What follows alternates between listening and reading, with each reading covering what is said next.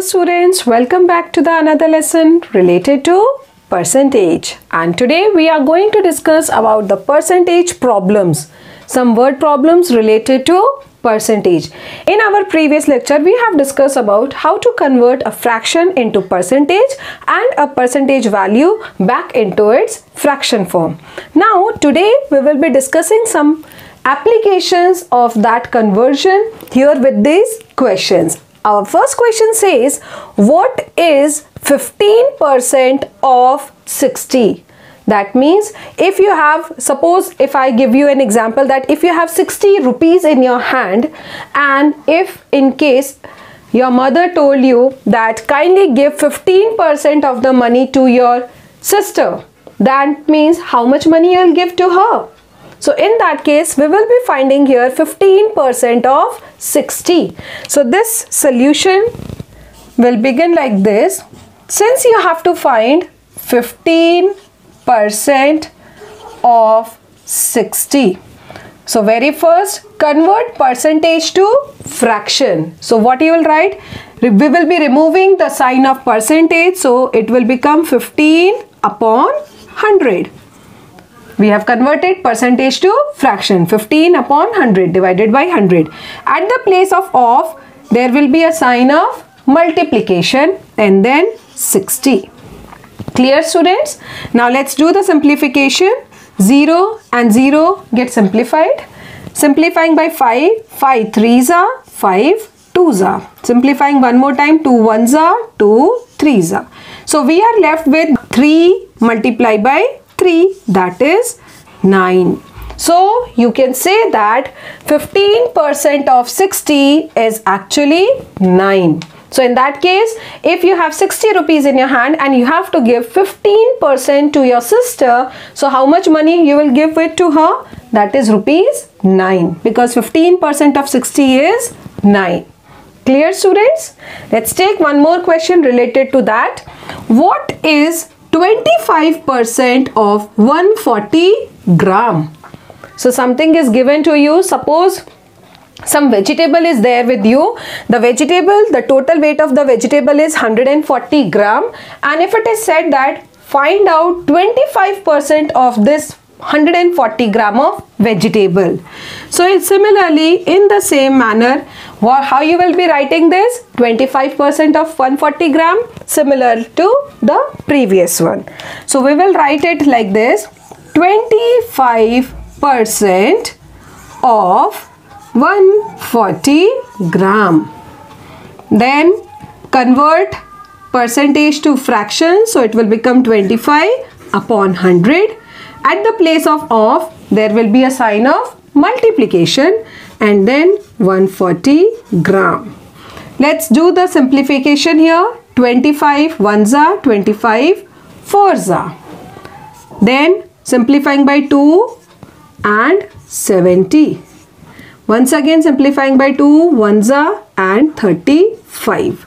So it the value is actually equals to 35 gram. It means 25% of 140 gram vegetable as we have taken the example 140 gram it is equals to 35 gram. So 25% of 140 gram is actually equals to 35 gram. Clear students? Let's take some more question with a twist. Twist means something different is being asked. Earlier percentage was given to you, total value was given to you. Now in these two questions you have to find the percentage. The question says what percent is 250 gram of 1200 gram. That means the total value is 1200 gram and the value given to you is 250 gram. You have to find how much is the percentage. So suppose there is uh, there are total 1200 grams of vegetable in a basket your mother told you that take out 250 gram of vegetable from it so you have just taken out and kept it in another basket then if I say that how much percent of vegetable you have taken out, tell me the value of that. So how you will be finding up that? So yes, the process for that is what you will do what is the total value? That means very first you will be writing this into its fraction form. Since the units are same gram and gram so we can start writing it in the fraction form.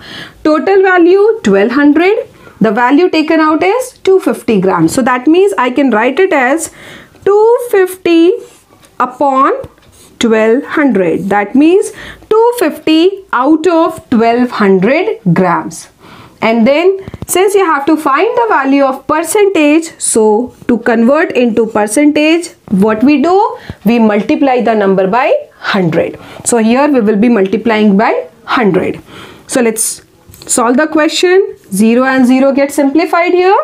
You are left with 250 upon 12 if I simplify it some more dividing it up by 2 6 uh, and 2 125 it is 125 upon 6 and when you will simplify it that means you will divide the term. You will get 20.8 2%. Either you can leave it in that fraction form only or you can convert into decimal form. So it will give you that 20.82% is 250 gram of 1200 grams. So out of 1200 gram, if we are taking out 250 grams, so it is 20.82% of it. Clear students? So whenever you have to find the percentage, smaller value, upon the total value multiplied by 100 similarly let's take one more question from your book exercise.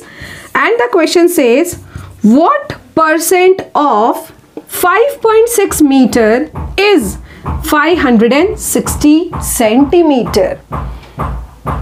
Okay so suppose this is the since it is a length so I take it as a cloth piece. So if you have 5.6 meter of cloth and out of that 560 centimeter cloth piece is being cutted out right? So you have we have cut a piece of 560 centimeter from 5.6 meter.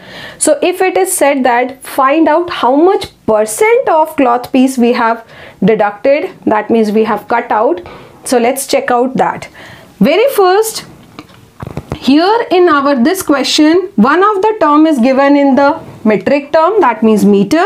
The second value is given in centimeters. So very first we need to convert meters to centimeters so that both the units should be same we cannot find percentage if both the terms that means two values given in two different units in our this question both the values were in grams so we have directly started the solution here very first what you will do, you will convert 5.6 meter into centimeter.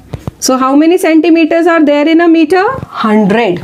So multiplying 5.6 with 100 and that will give you 560 centimeter. Now let's find out the percentage of 560 centimeter cut it out from 560 centimeter piece of cloth. So how much cloth we have taken out 560 centimeter out of 560 centimeter. Why? Because I have converted 5.6 into centimeter and that is 560 centimeter. So 560 is this value. The 560 I have written in the denominator is actually the converted part of 5.6 meter. And then since we have to find the percentage multiplying by 100. So 560, 560, ones So what it becomes? 100%. Percent, the value becomes 100%. That means if we are deducting 560 centimeter from 5.6 meter, it means we have taken out 100% of the cloth piece. Clear students? So this is how you can convert any fraction value to its percentage and a value given in percentage and you can find out what percent is that value. Clear students? I hope the lesson is clear to all of you. Thank you for the lesson students.